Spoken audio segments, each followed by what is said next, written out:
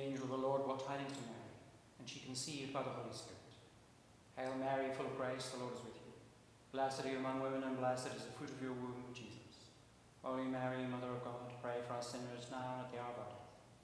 Behold the handmaid of the Lord. Be it unto me according to your word. Hail Mary, full of grace, the Lord is with you.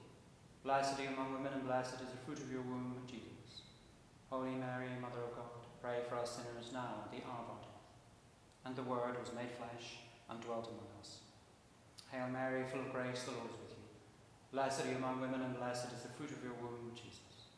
Holy Mary, Mother of God, pray for us sinners now and at the hour of our death. Pray for us, O Holy Mother of God, that we may be made worthy of the promises of Christ.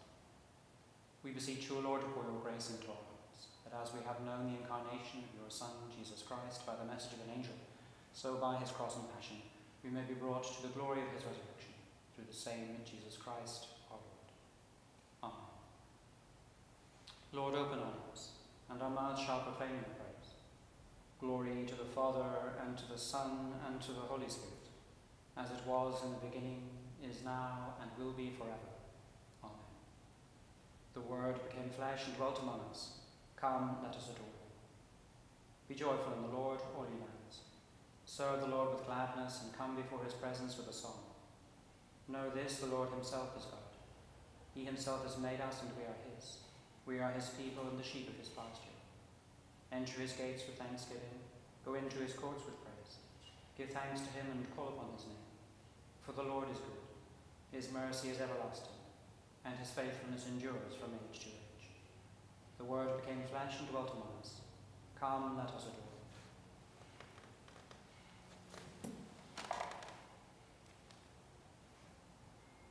Psalms 85 and 87. You have been gracious to your land, O Lord. You have restored the good fortune of Jacob. You have forgiven the iniquity of your people and blotted out all their sins. You have withdrawn all your fury and turned yourself from your wrathful indignation. Restore us, then, O God our Saviour. Let your anger depart from us. Will you be displeased with us forever? Will you prolong your anger from age to age? Will you not give us life again? That your people may rejoice in you. Show us your mercy, O Lord, and grant us your salvation. I will listen to what the Lord God is saying. For he is speaking peace to his faithful people and to those who turn their hearts to him.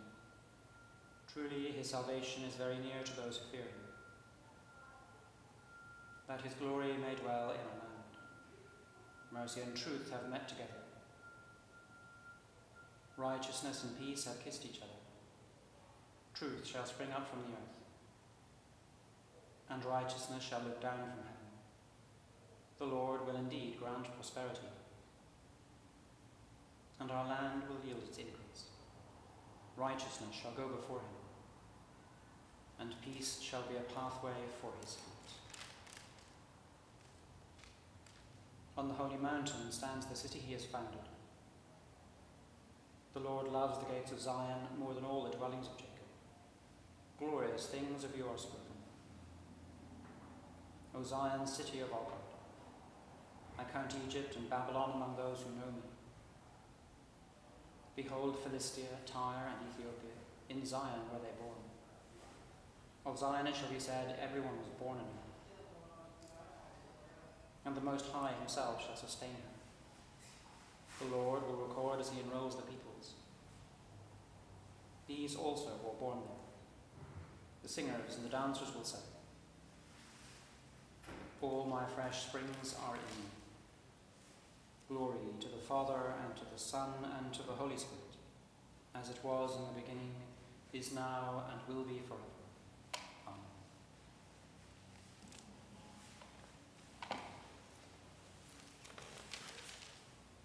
The book of the Exodus, the third chapter, beginning at the first verse. Moses was keeping the flock of his father-in-law, Jethro, the priest of Midian. He led his flock beyond the wilderness and came to Horeb, the mountain of God. There the angel of the Lord appeared to him in a flame of fire out of a bush. He looked, and the bush was blazing, yet it was not consumed. Then Moses said, I must turn aside and look at this great sight, and see why the bush is not burned up. When the Lord saw that he had turned aside to see, God called him out of the bush, Moses, Moses. And he said, Here I am. Then he said, Come no closer. Remove the sandals from your feet, for the place on which you are standing is holy ground. He said further, I am the God of your father, the God of Abraham, the God of Isaac, and the God of Jacob. And Moses hid his face, for he was afraid to look at God. Then the Lord said, I have observed the misery of my people who are in Egypt. I have heard their cry on account of their taskmasters. Indeed, I know their sufferings, and I have come down to deliver them from the Egyptians, and to bring them up out of the land to a good land, broad and land, a land flowing with milk and honey, to the country of the Canaanites, the Hittites, the Amorites, Perizzites, the Hivites, and the Jebusites. The cry of the Israelites has now come to me. I have also seen how the Egyptians oppress them. So come, I will send you to Pharaoh to bring my people, the Israelites, out of Egypt. But Moses said to God, Who am I that I should go to Pharaoh and bring the Israelites out of Egypt. He said, I will be with you, and this shall be the sign for you that it is I who sent you. When you have brought the people out of Egypt, you shall worship God this mountain. The word of the Lord. Thanks be to God.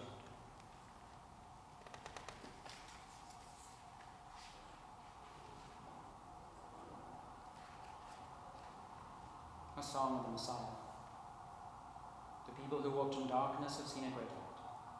Those who dwelt in a land of deep darkness, upon them the light has dawned. You have increased their joy and given them great gladness. They rejoice before you as with joy at the harvest. For you have shattered the yoke that burdened them, the collar that lay heavy on their shoulders. For to us a child is born, and to us a son is given, and the government will be upon his shoulder. And his name will be called Wonderful Counselor, the Mighty God, the Everlasting Father, the Prince of Peace For the increase of his government and of peace there will be no end. Upon the throne of David and over his kingdom, to establish and uphold it with righteousness and justice, from this time forth and forevermore.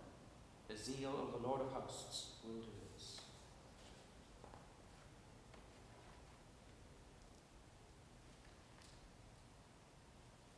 The letter to the Hebrews, the 11th chapter, beginning at the 23rd verse.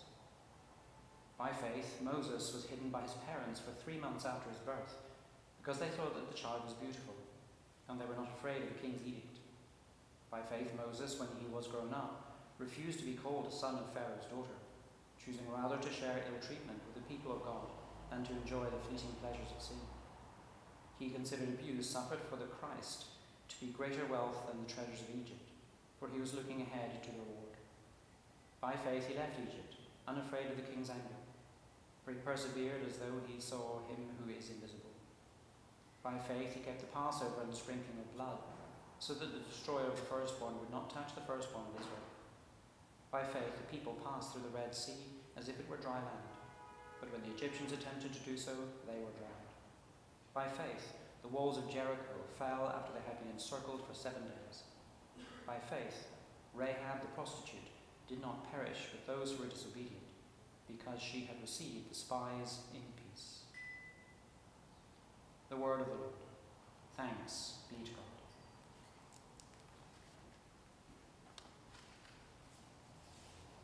A song of redemption. Christ is the image of the invisible God, the firstborn of all creation. For in him all things were created, in heaven and on earth, visible and invisible. All things were created through him and for him. He is before all things, and in him all things hold together. He is the head of the body, the church. He is the beginning, the firstborn from the dead. For it pleases God that in him all fullness should dwell, and through him all things be reconciled to himself. Glory to the Father, and to the Son, and to the Holy Spirit, as it was in the beginning, is now, and will be forever. Amen.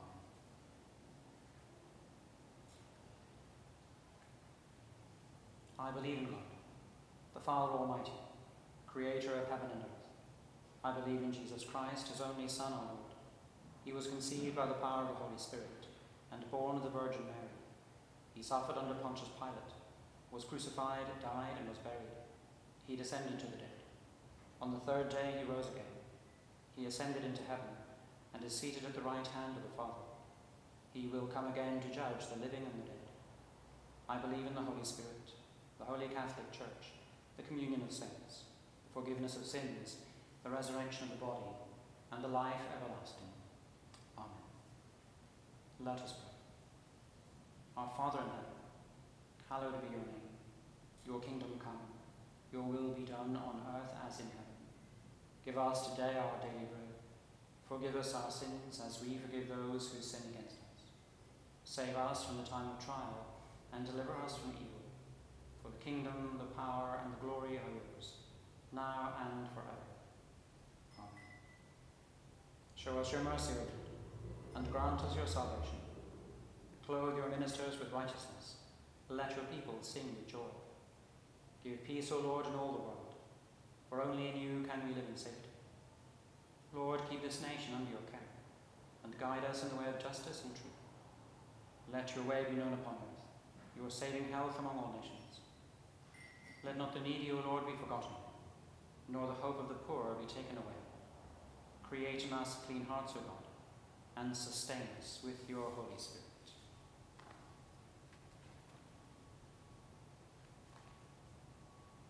Almighty God, you have poured upon us the new light of your incarnate. Grant that this light enkindled in our hearts may shine forth in our lives. Through Jesus Christ our Lord, who lives and reigns with you in the unity of the Holy Spirit, one God, now and forever. Amen. O God, the author of peace and lover of concord, to know you is eternal life and to serve you is perfect freedom. Defend us, your humble servants, in all assaults of our that we, surely trusting in your defence, may not fear the power of any adversaries, through the might of Jesus Christ our Lord. Amen. Lord God, Almighty and everlasting Father, you have brought us in safety to this new day. Preserve us with your mighty power, that we may not fall into sin, nor be overcome by adversity. And in all we do this day, direct us in the fulfilling of your purpose, through Jesus Christ our Lord. Amen. Heavenly Father, in you we live and move and have our being. We humbly pray you so to guide and govern us by your Holy Spirit, that in all the cares and occupations of our life we may not forget you, but may remember that we are ever walking in your sight. Through Jesus Christ our Lord. Amen. Let us bless them. Thanks be to God. The grace of our Lord Jesus Christ and the love of God and the fellowship of the Holy Spirit be with us all evermore.